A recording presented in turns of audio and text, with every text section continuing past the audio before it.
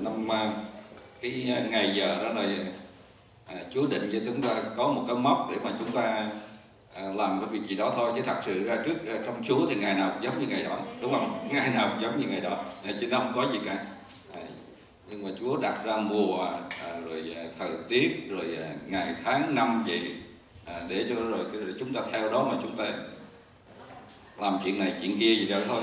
À, tổ chức ra với nhau vậy thôi. Nhưng mà thật sự ra đó thì ngày nào cũng là ngày của Chúa. Và ngày nào nếu chúng ta vui thì ngày nào cũng vui cả. Và nếu chúng ta buồn thì sưng cũng buồn nữa đúng không? Nếu mà nếu mọi người buồn thì dạ. Yeah, đúng rồi đúng rồi. Rồi tối hôm nay chúng ta sẽ học kinh thánh với nhau à, ở trong uh, sách Cô-rin-tô thứ nhì à, đoạn 12 à, từ câu 5 và cho đến câu 10 dạ.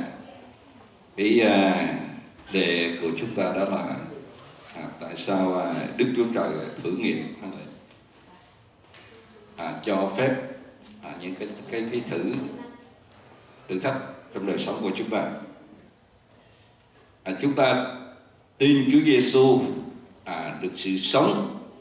À, tin Chúa Giêsu Cô Rê Tô thứ nhì đoạn 12 từ câu 5 tới câu 10 đoạn 12 à, chúng ta tin Chúa Giêsu được bình an tin Chúa Giêsu được vui mừng. À, đó là cái điều chắc chắn. Đó là điều chắc. À, nhưng mà một mặt khác của niềm tin của chúng ta nữa đó là chúng ta cũng phải à, chuẩn bị đời sống của chúng ta ở trong cái việc Chúa cho phép thử thách xảy ra. À, nên chúng ta cứ à, nghe mỗi tuần hay là à, chúng ta nghe rất là nhiều về cái sự bình an cái phước hạnh của Chúa mà chúng ta nói ủa tại sao như vậy và tôi vẫn còn có cái sự à, bất an nào đó. À, rồi à, tôi cũng còn bệnh tật nữa. Rồi à, sau à, tôi cũng thấy có những cái vấn đề nó xảy ra giống như khó khăn. Đôi lúc tài chính cũng thiếu thốn tiền bạc thiếu nè đúng không? Nó có nhiều cái vấn đề khó khăn đi quanh chúng ta. Như vậy thì cái phước hạnh nó là gì? Bình an nó là gì? Mà sao những cái việc đó xảy ra đôi lúc à, chúng ta đặt câu hỏi ở trong đời sống của chúng ta à, chúng ta thấy được nghe giảng suốt ngày chứ chúng ta học suốt ngày nhưng mà tại sao nó có những vấn đề? Thật ra đó thì nó à, cái sự cho phép của Chúa xảy ra cho chúng ta đó nó có ích lợi nó làm thêm lợi cho chúng ta chứ không phải là làm cho chúng ta buồn rầu hay là chúng ta bị thất vọng. À, chúng ta nên nhớ như vậy. Cái chiều hướng tích cực của cái à, vấn đề nó xảy ra trong đời sống của chúng ta Chúa cho phép xảy ra đó là nó đem đến cho chúng ta cái sự tốt chứ không phải là xấu thì chúng ta nên nhớ cái điều này. À, thứ nhất nó là gì?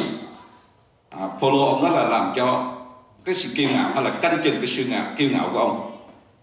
À, nếu mà tôi và quý anh chị em chúng ta hoàn hảo ví dụ như gia đình chúng ta à, hạnh phúc rồi vui rồi đủ thứ chuyện miễn là cái gì chúng ta thấy điều tốt hết. À, thì chúng ta dễ bị kiêu ngạo ngoài cho rằng à, những anh em của chúng ta hay là những người thấp kém hơn chúng ta đó là họ có gì đó sai trật họ không mua hả?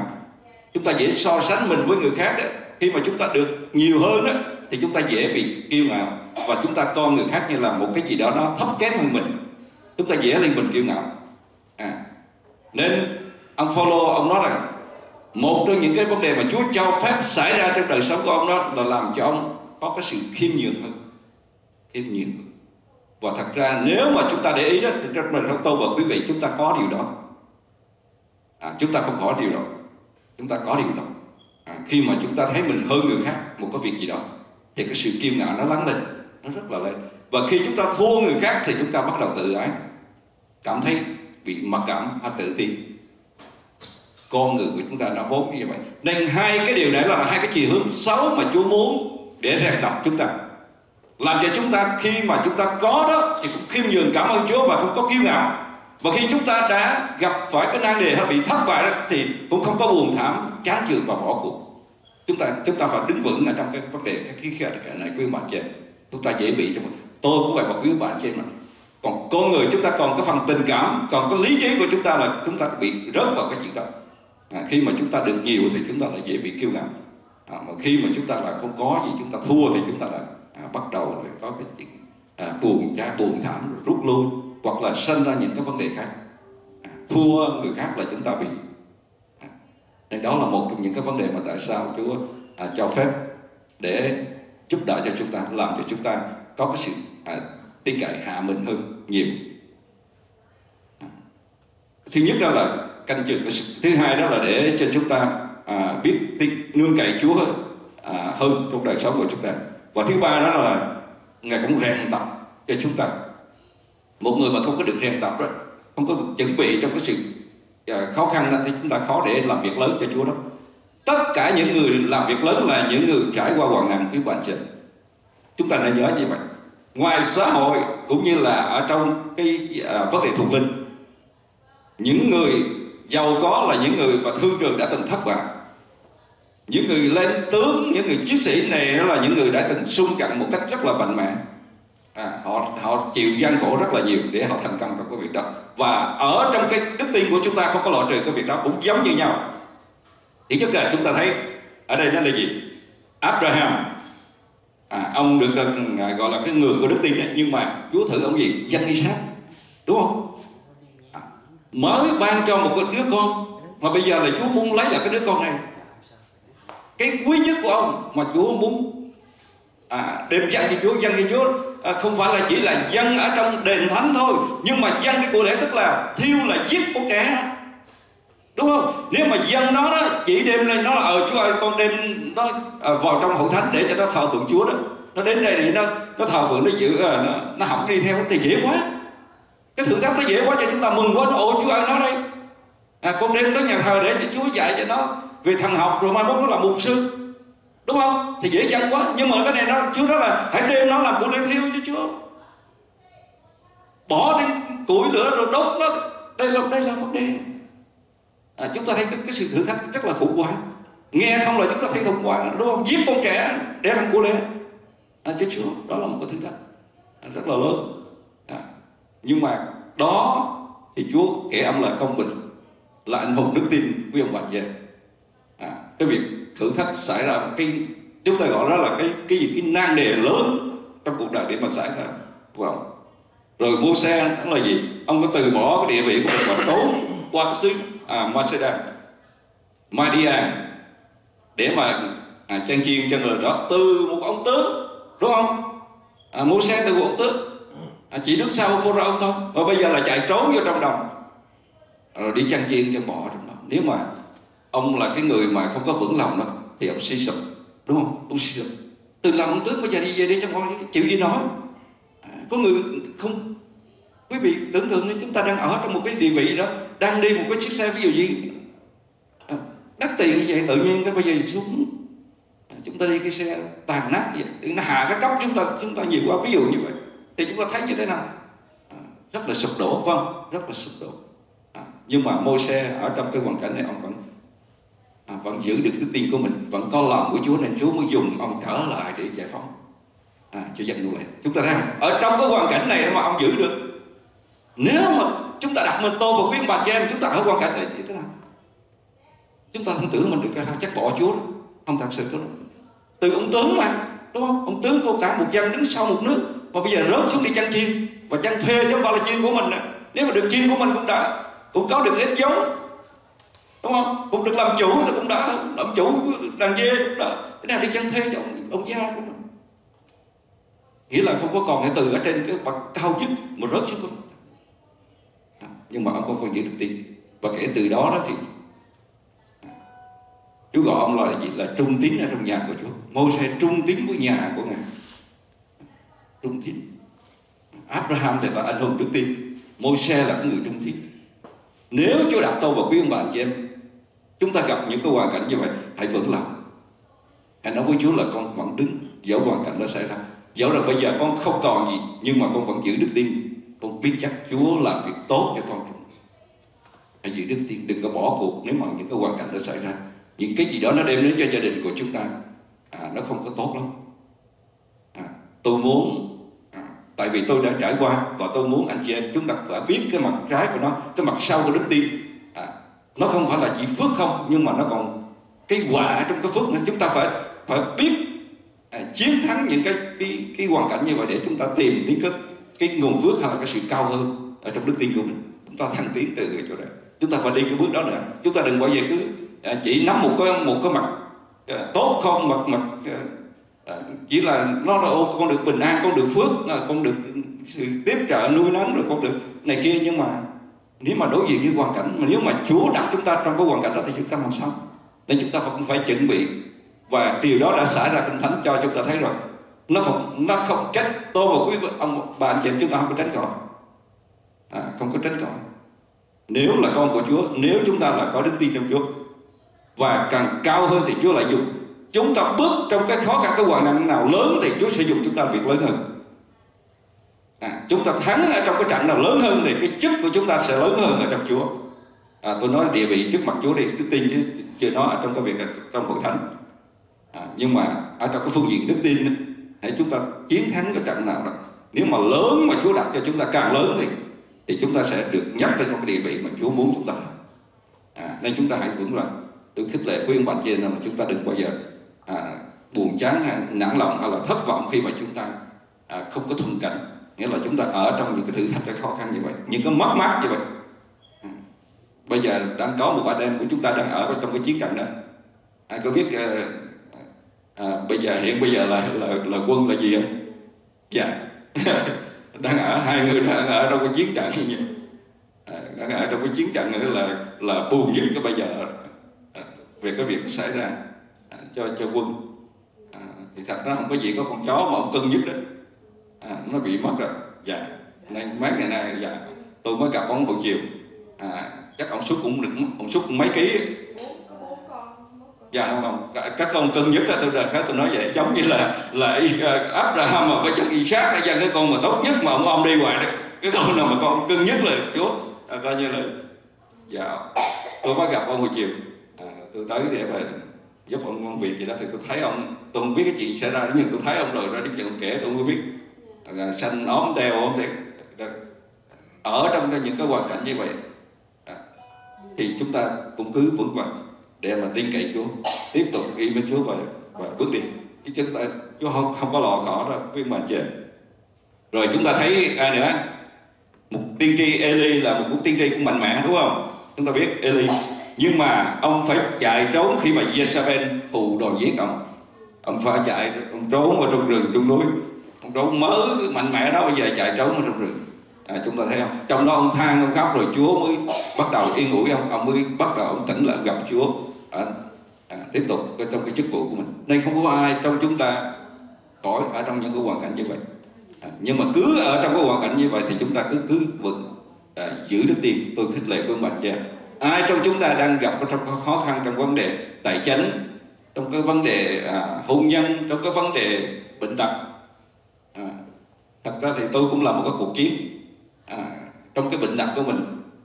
Giống như là mấy chục nó, nó kéo dài nhiều năm rồi trong cái trận chiến này à, về cái đau thần kinh tọa này dạ, cái trận chiến này không biết bao nhiêu công bố ngày đêm tôi một mình ở trong la là cầu nguyện chung cầu nguyện riêng ở trong phòng ở trong nhưng mà nó vẫn còn ở đó. Và một trong những vấn đề thì cứ ngồi dậy cảm ơn Chúa cảm ơn Chúa ngày cho con cái gì đó mà con giống như là điều đó là cái điều mà tốt cho con khi mà ngồi dậy để cầu nguyện ngồi dậy để mà đứng cậy Chúa ngồi dậy để cảm ơn Chúa. À, đánh thức nửa đêm mấy giờ dậy hoài vậy đó. À, chúng ta. Và hai nữa thì chúng ta nghĩ là đây cũng là nhẹ và tạm cho con so với những người khác. Nhiều anh em chúng ta có những cái hoàn cảnh rất là rất là bi thương. Mai mốt quý vị sẽ à, tôi nghe là quý vị đã mua vé rồi à, đi coi có một mùa đi nghe một sư anh nít đúng không? À, có việc dạ quý vị thấy không? Đã mất hai tay hai chân còn chút xíu cái chân ông nó lò ra chút xíu à, còn chút xíu như vậy mà Chúa lại dùng ông ở trong chúng ta thấy không? Chúng ta thấy. Nói Chúa ơi con vậy là con còn quá nhiều so với với người anh em của con. Nhưng mà Chúa còn dùng ông tới cái mức độ đó. Bởi lẽ ông có đức tin chứ không có gì khác hơn. Ông không có gì khác hơn tay chân không còn thì có cái gì hơn chúng ta? Ông có hơn gì cả nhưng mà ông hơn có đức tin thôi không hơn gì hết. Nít chỉ hơn đức tin thôi. À, ông học cũng đâu có bằng các tiến sĩ kia. Nhưng mà ông chỉ có đức tin ông tin cậy nơi Chúa và Chúa dùng ông. Quý vị biết là ông đi qua mấy chục quốc gia rồi. À, nói cho bao nhiêu triệu người để nghe tin lành. Còn chúng ta là cái gì? Chúng ta không được gì cả. Chúng ta chưa có gì cả. Bởi lẽ là chúng ta chưa có qua lửa thử thách tới cái mức độ đó. Đúng không? Chúng ta chưa có gì cả. À, lửa thử thách đó chúng ta chưa có nên chúng ta chưa có phong chức lớn như ông. À, nên chúng ta còn cái chức nhỏ nhỏ thôi là mà tín đồ trung tín rồi chút đinh vậy thôi đúng không? Chứ nó không phải là một à, anh hùng đức tin được. À, bởi lẽ là chúng ta chưa bước qua cái thử thách lớn nên Chúa cho chúng ta sẽ phép xảy ra những cái cái việc gì lớn chúng ta cứ cảm ơn Chúa. Con cảm ơn Chúa cho con bước qua trận này. Nâng cậy Chúa nhiều hơn hạ mình hơn khiêm nhường hơn biết thông cảm cho người khác nhiều hơn à, khi mà chúng ta rớt vào cái hoàn cảnh rồi chúng ta mới hiểu dễ thông cảm cho bạn mình hơn. Còn nếu không thì chúng ta dễ bị cứ ngạo. Thấy người ta à, buồn bã việc này việc kia gì đó chúng ta nói ố sao người này kia chê họ là yếu đuối hay thế này thế kia? Đúng. Nhưng mà khi chúng ta rớt ra rồi chúng ta mới hiểu. À, khi mà gia đình chúng ta đụng việc rồi chúng ta mới hiểu ồ chúa con mới biết được. bất an hay như thế nào. Con cái mà nó nó không nghe là nó buồn như thế nào con hiểu. Còn trước đây con đâu có hiểu. Nhưng mà chúa cho xảy ra để cảm thông anh em mình cảm thông chúa yêu chúa và cũng cảm thông những người khác nữa. Làm cho chúng ta dễ khiêm nhường dễ hòa đồng. Không không để chúng ta kiêu ngạo. Chứ nếu mà chúng ta hoàn hảo không có gì thì chúng ta đi. Không ai nhìn chúng ta nổi đúng không? Tiền có rồi à, giàu sang rồi đủ cái chuyện hết thì đâu có ai chịu nổi với chúng ta đúng không? Không có ai nọ đâu. À, nhưng mà Chúa làm như vậy để cho chúng ta hạ xuống để mà khiêm nhường. Phaolô ông, ông ông có một cái sự à, nhìn thấy Chúa cho ông, ông ông nhìn thấy nghĩa là Chúa đưa trong một cái giấc mơ đó mà Chúa đưa ông tới thiên đàng để mà nhìn thấy đủ ờ, điều trong đó. Rất là rất là nghĩa là ông không có kể nó bật cái điều này ra nhưng mà ông nói đó là một cái cái, cái gì đó mà à, quá lớn phải không? Về cái sự kỳ diệu mà Chúa cho ông thấy. À, nhưng mà ông nói là ông không dám nói ra nói ra là anh em nói mình kiêu ngạo. Nên ông không dám nói nhưng mà ông nói cái sự yếu đuối và anh em cũng nên khi chúng ta khoe đó khoe về Chúa và khoe cái sự yếu đuối đó, thì dễ thông cảm hơn là chúng ta khoe cái sự giàu có ban anh của mình. Chúng ta khoe chúng ta có nhiều tiền cái giàu có chúng ta có đủ thứ thì làm cho người khác mặc cảm Phaolô nói điều đó. Ông không muốn người khác nên cái sự ông không muốn khoe cái sự kiêu ngạo thuộc linh của mình về cái vấn đề mà Chúa đã đem ông à, tới thiên đàng để mà nhìn thấy Chúa trên đó. Ông không muốn nói điều đó. Ông giấu nhưng mà ông chỉ nói khoe về sự yếu đuối của mình thôi ông nói với họ là những cái sự yếu đau đớn mà Chúa đặt cho và ông nói là ông cũng kinh nghiệm trong sự yếu đuối đó là khi mà ông yếu đuối như vậy thì lúc đó là cái lúc mà ông mạnh mạnh mẽ nhất trong cuộc đời của mình. Xin Chúa giúp tôi và quý ông bà chị em. À, chúng ta không tránh khỏi con đường đi với Chúa. Không tránh khỏi. À, chúng ta chuẩn bị điều đó như là một cái à, cái sự chuẩn bị chắc chắn để mà chúng ta vui mừng đón nhận nó tiếp nhận nó để chúng ta trưởng thành trong Chúa chứ chúng ta đừng, đừng bao giờ đau buồn thiếu tiền chúng ta cũng đừng có buồn. Bệnh tật chúng ta cũng đừng có buồn. Gia đình có xảy ra vấn đề gì đó thì cũng hãy cảm ơn Chúa để Chúa giúp đỡ con để con vượt qua à, con sống à, ở trong đức tin sống à, đẹp lòng Chúa chứ con không có phần nào tại vì cái người mà không có đức tin không có nhìn thấy đó không đứng đó, thì cái nghịch cảnh dễ khó để mà mà vượt qua. Rồi chúng ta thấy ai nữa nhiều lắm ở trong này nhiều các anh hùng anh hùng và bị đó David à, từ cái vị vua bắt đầu rồi bị rượt đuổi. À, bởi coi như là sao la và người con của ông con của ông rượt ông mới là cái vấn đề. Đó.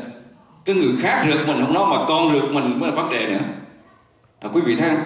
Nhưng mà ông cũng cảm ơn Chúa và ông kiên nhẫn để ông vượt qua và ông trở thành là một cái vị mà tôi và quý vị là yêu Chúa đến cái nỗi nồng nàn đến cái nỗi là tất cả những cái thi thiên và những cái gì đó mà trong lòng của ông ông đã đổ ra cho tôi một viên bản chèm chúng ta học theo lòng ông ông yêu Chúa nhận biết cái sự à, tội lỗi của mình thấp kém của mình và yêu Chúa một cách hết lòng và nồng nàn với bản chèm. Ông yêu Chúa lắm. Và cái sự yêu Chúa của ông ông diễn tả à, chúng ta thấy rồi. Tất cả những cái ngôn từ gì tốt nhất hay nhất đẹp nhất đó ông diễn tả ông nói về Chúa của mình ở trong khi thiên. Chúng ta biết rồi. Còn chúng ta không có nói được nhiều đúng không? Chúng ta yêu nhưng mà tôi tôi không biết là chúng ta yêu còn mấy từ theo cái cấp độ. Dường như một tới mười thì chúng ta chắc có được hai ba gì đó thôi. Thì Chúa giúp cho chúng ta nhiều hơn nhiều hơn. À, và khi nhiều hơn như vậy thì chúng ta mới có những cái sự cả cái đời sống của chúng ta cũng như là cái sự ca ngợi môi miệng của chúng ta đó, xứng đáng cho Chúa nhiều yêu Chúa nó ca ngợi Chúa nó tốt về Ngài ca ngợi Ngài. À, đó là một trong những vấn đề giúp.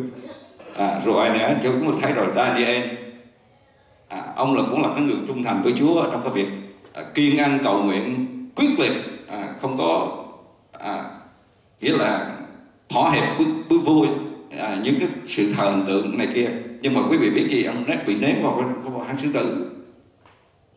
Yêu Chúa trung tín với Chúa mà bị ném vào trong hang sư tử. Quý vị biết đó chứ nó không phải là yêu Chúa là hoàn toàn không có bị gì cả.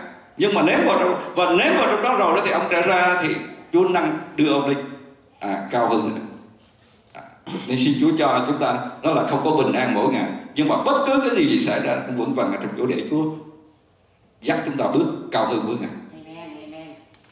Dễ cảm thông với anh em mình hơn, trưởng thành đức tin nhiều hơn, và cũng có kinh nghiệm để mà chia sẻ với người khác, yên ủi người khác nhiều hơn. Tại vì khi chúng ta có cái kinh nghiệm rồi đó, trải qua cái điều đó thì chúng ta yên ủi cái người cùng hoàn cảnh chúng ta mới được. Còn nếu chúng ta không biết cái chuyện, không biết cái đó khác là gì thì làm sao mà yên ủi cái người đang đó khác? Đúng không? Chúng ta chưa biết cái sự đau nhất nó tới cái độ nào thì chúng ta làm sao chúng ta thông cảm thông với người đau nhất yên ủi họ được. Nên Chúa cho chúng ta xảy ra một cái lý do này đó để cho chúng ta hạ mình một biết cảm thông với nhau à, giúp đỡ cho anh em của mình à, hòa đồng anh em mình nhiều hơn. À, xin Chúa cho à, tối hôm nay à, chúng ta đó là chỉ cho giúp cho chúng ta. À, tại sao tôi à, hay nói về một cái hướng đó là cái hướng mà chúng ta phải trưởng thành ở trong hoạn nạn nhiều hơn. Đi trong hoạn nạn. Tại vì chúng ta phải chuẩn bị cái điều này. À, đức tin phải trưởng thành phải chuẩn bị cho chúng ta vượt qua các gian khổ tại vì thập tự giá không có tránh khỏi tôi vật quyền mặt đi theo Chúa đó chúng ta có một cái thập tự giá quyền mặt về chúng ta đừng bao giờ cứ nhìn phước không có nhìn à, đủ điều gì đó mà quên cái thập tự giá gì. Chúa muốn con dân của Ngài là môn đồ của Chúa phải dắt người này tại vì Ngài đã có thập tự giá mà tại sao chúng ta không có đi với Chúa con đường đó là con đường thập tự. Là có con đường hy sinh và chết. Theo Chúa làm chứng nhân cho Chúa có nghĩa là chúng ta thưa với Chúa rằng con sẽ hy sinh mạng sống của con cho Chúa. Chứ nó không phải là đơm bông cái trái gì đâu không phải là à, đi với Chúa hầu về Chúa lương bao nhiêu Chúa trả con bao nhiêu ngàn không phải như vậy nó không phải như vậy. Nhưng mà cái thập tự giá mà con chuẩn bị con phát à, với Chúa và sẵn, sẵn sàng xả các mạng sắp với Chúa. Và quý vị biết bao nhiêu vị mục sư biết bao nhiêu vị truyền đạo đã chết đã tử với Chúa rồi. Ở trong cái việc mà à, họ đàn áp trong việc khó khăn trong cái việc bộ tộc bộ lạc thế này kia họ đã bị chiếm giết rất là nhiều. Họ đã mất thập tự giá rồi. Và các sứ đồ của Chúa cũng đang bị ở trong cái, cái hoàn cảnh đó. Paulo, Giăng, Pierre bị tù, bị chặt, bị đâm chém đúng không? Chứ đâu phải là, là đi với Chúa không có rồi Chúa à, cho cái căn nhà nào đó đẹp hai ba lầu cho chúng ta ở đó rồi. À, hưởng thụ đó không phải như vậy. Nó quá quá bây giờ cái tập tự giá. Chết đời sống của mình. Bây giờ hàng ngày nó trước cái tập tự giá lớn nhất đó là tôi tôi mình là phải chết cái bản ngã của mình. Chết là mỗi ngày để sống cho Chúa. Vợ với chồng với nhau mà nếu mà chúng ta không có chết không có tập tự giá không có chết cái bản ngã này không có sống được không cách nào sống với nhau được vậy? À, nó phải có cái tập tự giá để mà chúng ta vác với Chúa mỗi ngày. Đi với Chúa và với anh em của mình. Nó phải có cái tập tự giá thôi. Chứ không có thì không có cách nào chúng ta à, để sống đẹp lòng Chúa ở trong à, mọi hoàn cảnh. Chúa giúp đỡ cho chúng ta tối nay. Chúng ta sẽ à, dừng ở đây để cầu nguyện. Thì Chúa cho con phải là vững mạnh ở trong mọi cái hoàn cảnh bất cứ điều gì xảy ra trong gia đình của con đều cảm ơn Chúa vậy con sẽ vượt qua à, nhà thầy Chúa.